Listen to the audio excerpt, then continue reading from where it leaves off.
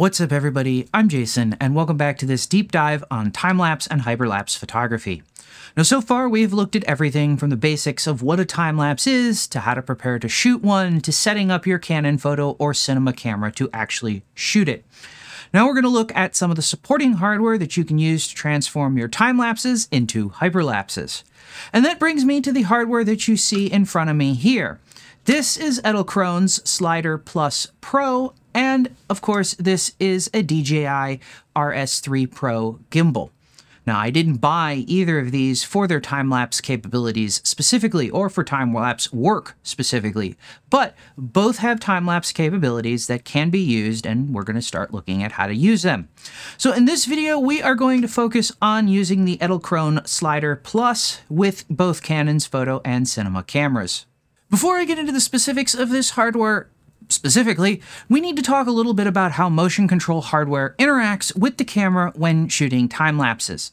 So almost every piece of motion control hardware, at least that I've seen, is designed to shoot time lapses as a series of still images. In fact, it's also designed to control the camera's shutter throughout this process. Now this approach has some implications that we need to be aware of. To start with, there's movement. Well, the movement of the motion control hardware, that is.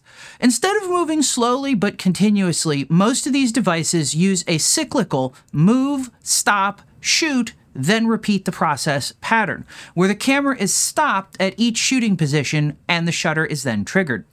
Now, this isn't a problem if you're using the motion control hardware to trigger your camera's shutter.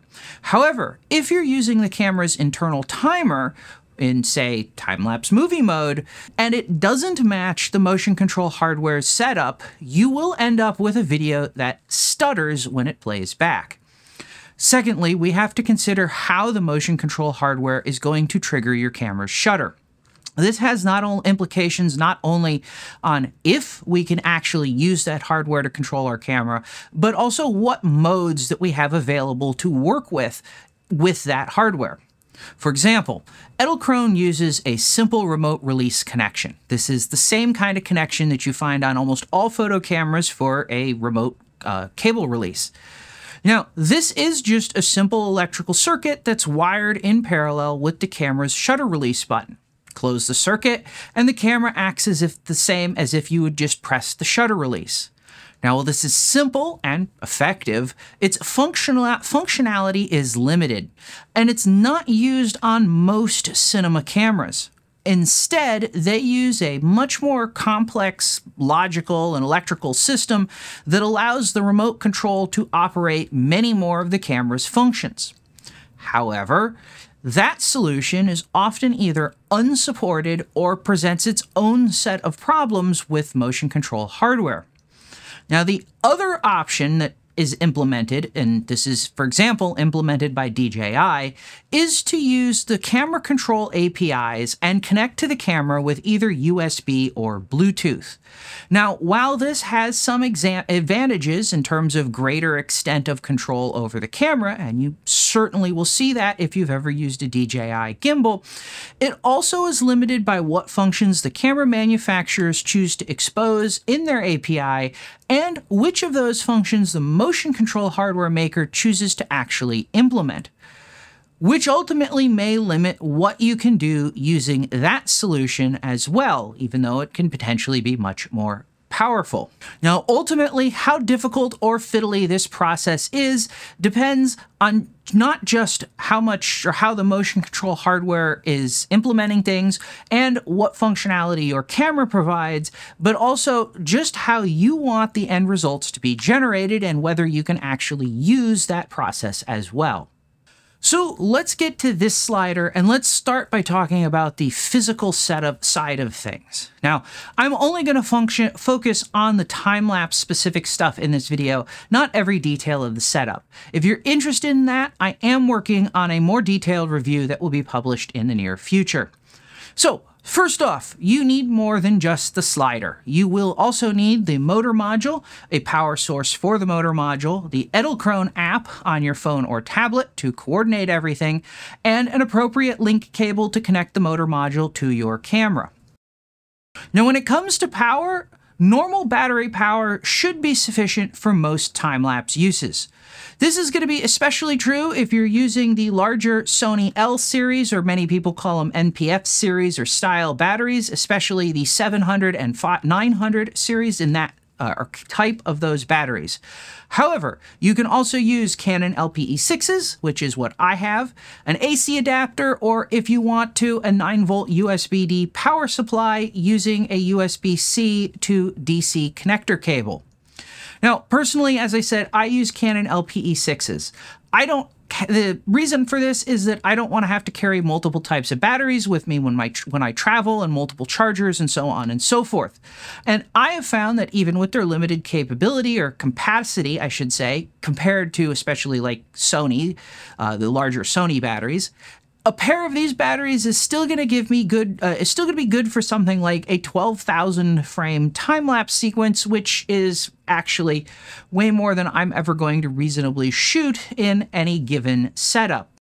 Now, if you're going for the full multi-axis motion control setup with pans, tilts, slides, and all of that jazz, you know, the full Monty, I guess you could say, then you'll want to use Edelkrone's heads since they're all tightly integrated and all of that hardware synchronizes and coordinates with each other and you will get the best possible results going it that way. Now, you could try to cobble something together like mounting a DJI Ronin on top of the Edelkrone slider, and uh, I have, have to admit I have been tempted to try that. But it's also going to be a nightmare to make work well because nothing is coordinating or talking to each other. Now, if you just are using the slide movement for the slider, then you can use any tripod head on top of it to mount your camera on. However, for time lapses, or hyperlapses in this case, you don't actually need a fancy fluid or video specific head since that fluid drag stuff is really there to give you smooth pans and tilts, and you won't be moving the camera on the slider while the recording is going on, so those are all going to be kind of useless. In general, what I recommend is the lightest head that you can use is best. Lighter is definitely better, especially if you're working off of a tripod. So for me personally, I try to use the lightest head that I actually have or own.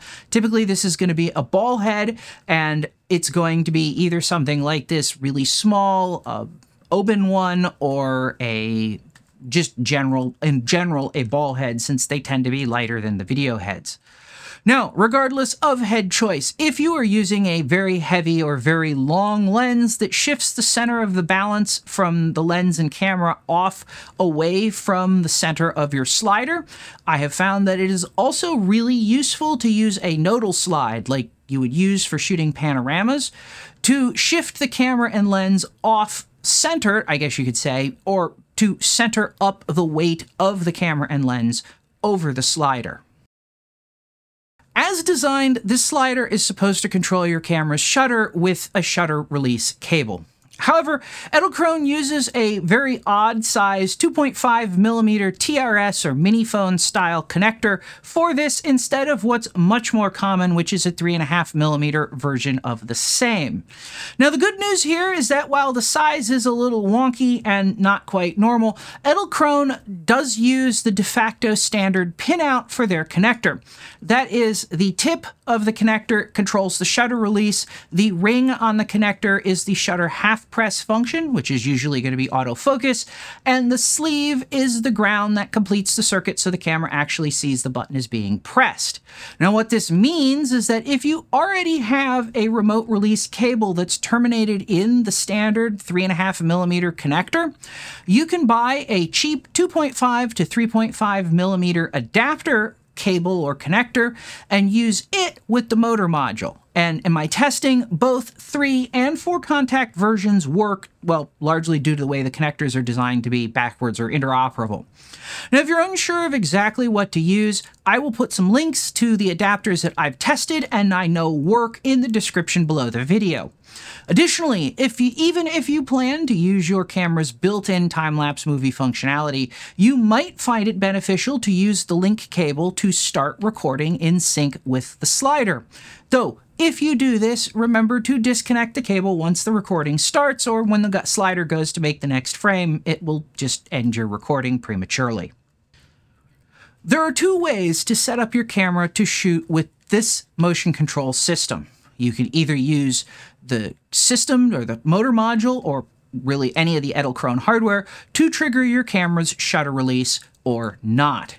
Now, all photo cameras with a remote release port can be connected to the motion control system to shoot still sequences that you'll have to assemble into a video in post. Unfortunately, most, if not all of these cameras will not be able to create a video in camera under the slider's control. Now, on the other hand, most cinema cameras don't have the simple remote release system that is found on a photo camera, and so they can't be either uh, controlled by the slider basically at all. Even though many, or at least all of Canon's, have a frame recording video mode that would work perfectly. The one exception to all of this is the R5C. You can use it in either still mode, like any other photo camera, or you can use the frame recording special recording mode that's part of the video system to do exactly the same thing, but you get a video out of the camera and the slider is still in control. Now, if you're going to use the slider to control your camera's shutter, for everything but the EOS R5C, the camera must be put into photo mode. Beyond that, there is nothing special that you need to do beyond the normal time-lapse stuff that needs to be done anyway. Now, if you are going to shoot with a Canon camera and you are more want some more details about this, check out my video on shooting time lapses in photo mode for more useful or more info on useful settings. Now, if you are using the R5C and you want to go the video rote, then you will need to put your camera into frame recording mode. Now, fortunately, I covered this in the video that I did on shooting time lapses with the R5C, so I'll link to that. You can check that one out as well. Now, while Edelkrone's system wasn't designed to work with a camera's internal timer, under the right conditions, this approach also works just fine. Though, to have the best shot of things working well, here is what I have found. To start with, you need to use the same interval setting on both the camera and in the Edelkrone app for your slider. This will prevent things from stuttering. Second, you'll want to use a longer interval than the slider's minimum of one and a half seconds, and you'll want to shoot a time lapse that lasts longer or takes longer than five minutes to record. The way the Edelkrone slider works is that it tries to fit both the exposure time and the time it takes to move to the next position into the specified interval. However, if it can't move fast enough, then the interval will be lengthened in accordance to how long it needs, which also does have an impact on the fact that your video will be longer and not in the, at the speed up that you specified. Now, when the slider is releasing the shutter, shutter, this isn't really a problem because it's in control of your camera and it just changes things. But when you're using your camera's internal timer, then the camera will drift out of sync with the slider's movements and that's going to reduce the quality of your hyperlapse. Now, in testing, I found that as long as the recording time was longer than five minutes, any interval worked fine, even the minimum of one and a half second. But below that, I almost always ran into problems, even with comparatively long intervals like 4 or 5 seconds. Third, if your camera requires you to specify a frame count in the interval recording or time-lapse recording system, like the R5 does if you were using the time-lapse movie mode, add a few extra frames over what the Edelkrone app calculates you'll need. Now this isn't strictly necessary, but it does give you a bit of extra padding to manually start the recording and in case things drift weird, have recording at the end as well. Now finally, if you want to synchronize your recording with the slider as much as possible, you can plug the camera into the motor module and use the first frame to start your recording. Just make sure you disconnect the release cable after the first image is made or the slider will stop your recording when it goes to make the second image. Finally, we get to the Edelkrone app. Now, most of the settings in the time-lapse system in the Edelkrone app should be pretty self-explanatory, especially if you've already looked at my other videos on time-lapses or you've done any time-lapse work before. Moreover, the app will calculate most of the settings based on what you fill out. So don't feel that you have to do something by hand. The, the, the app will work with you. Now, that said, setting the recording time and the playback frame rate are a minimum that you have to do. For the recording time, keep in mind that exceeding that time, uh, the recording may exceed that time if the interval time is short and the total recording time is short. We just talked about this. You get the idea. Stay at five minutes and longer if you can. Now, if you're shooting with a camera's internal time-lapse mode, you'll want to check that the recording time that the app calculates and the recording time that your camera calculates match, or are at least within a couple of seconds of each other. Now for the frame rate, you should set this to the actual playback frame rate you intend to use, not necessarily what your camera may use in its automatic process. So for example, Canon photo cameras like the R5 or R6 set the playback frame rate for time-lapse videos to 25 or 30 frames per second, depending whether you're shooting in PAL or NTSC mode respectively.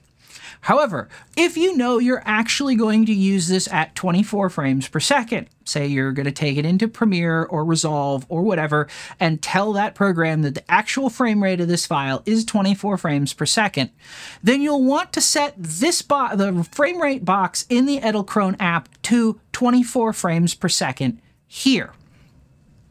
Now for the rest of your recording settings, you can go about this a couple of ways.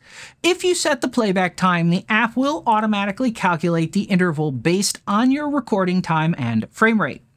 Alternatively, you could set an interval time or even a speed up, and the app will calculate the playback time for you based again on the interval or the recording time and playback frame rate. Now, since there is no communication between the app and the camera, aside from the shutter release signal, the software also needs to know how long your exposure time will be so that it can manage the movement and intervals appropriately. This is true whether you are using the release cable to control your shutter or you are doing it internally in your camera. Now, if you are shooting in full manual exposure mode, set this to match the shutter speed you've set on your camera. However, if you want to shoot in, say, aperture priority as a simple way to do essentially bulb ramping, as this course shooting in aperture priority that is will improve your ability to shoot into the edges of the day so sunrise and sunset then set this interval to the longest or set the exposure time to the longest exposure time that you're going to allow the camera to use now, for most of Canon's photo cameras, the absolute maximum length of an exposure is 30 seconds when using either the mechanical shutter or the first curtain electronic shutter, and a half second when the camera is in fully electronic shutter mode. However, you can also set a defined or user-defined lower limit on the shutter speed with most of Canon's mirrorless cameras. Now to do this on the R5, you're going to head over to the Custom Function 2 menu page and look for the Set Shutter Speed entry. In that menu, you'll be able to set the minimum shutter speed to anything between 30 seconds and 1 4,000th of a second in one-stop increments. Now, on other Canon cameras, uh, setting is going to be called the same thing or something very similar. It just may be in a different menu section. Now, of the rest of the controls, there's really only two that might not be readily obvious or aren't well explained in the documentation by Edelkrone. These are the static slash dynamic interval switch and the ramp switch. So the static slash dynamic interval switch controls where the interval time, whether the interval time is fixed throughout the entire time-lapse sequence, that would be static mode, obviously, or can change over the course of the time lapse. That would be, of course, dynamic mode. Now, the intent of the dynamic interval mode is to allow you to build a speed ramp right into the time lapse as you shoot it. Now, personally, and at least for the time kinds of time lapses that I shoot, I don't find this overly useful and I don't actually ever use it. I would much rather shoot the whole time lapse at a slower speed or overshoot it essentially, and then speed ramp it in post, even though doing that means there's going to be more images taken and therefore the file is going to be bigger. But simply, the increase in file size just doesn't matter that much compared to the increase in control that I have in doing this stuff in post. Now at the bottom, you'll find a switch that also says ramp. This is actually a position ramp. Now the difference here is that while a time ramp will affect the camera's perceived speed as it moves through the frame, it will also affect the speed of everything else. So clouds will speed up, or the sun will speed up, or people will move faster, or whatever. However, the position ramping feature allows you to ease the speed of the camera move without impacting the overall speed of the thing that you are photographing in the time lapse. So you can use this to add an ease in or out of the time lapse so that it slowly ramps in and down in speed, or you could use it to slow down in the middle to linger around something eh, that is important or interesting. Now, one final tip. As I've alluded to throughout this video, short time lapses, those on the order of about five minutes or less, can be problematic. However, for a time lapse that, that that is that short, in many cases you can actually just use the slider's regular movement at the lowest speed, which is of course 1%, and shoot with your camera's timer or a timer plugged into your camera. Now on my Slider Plus Pro Compact, sliding across the entire range at 1% speed takes 564 seconds, or around 9 minutes. The time taken, though, scales with the size of the move. So if you only were going to do half the length of the slider, then it would take about half the time. Now, of course, because of the compound sliding mechanism on the Slider Plus series, if you need half the length but the longer time, you could also do that by using the slider on the ground instead of a tripod, which halves the length but doesn't actually half the amount of time it takes to run it. So, I think I'm going to wrap this one up here. Of course, if you have a question or if you have one of these and you use it for time lapses and have a tip that I didn't cover, drop it in the comments below. If you found this useful or at least interesting, let me know by hitting that like button and of course, share this video. If this kind of thing seems like it might be your kind of thing, please consider hitting that subscribe button if you haven't already. Finally, if you'd like to directly support this channel and future content like this, please consider hitting that thanks button if you can or buying yourself something you've always wanted from the affiliate link in the description below. And as always, thanks for watching, and I'll see you next time.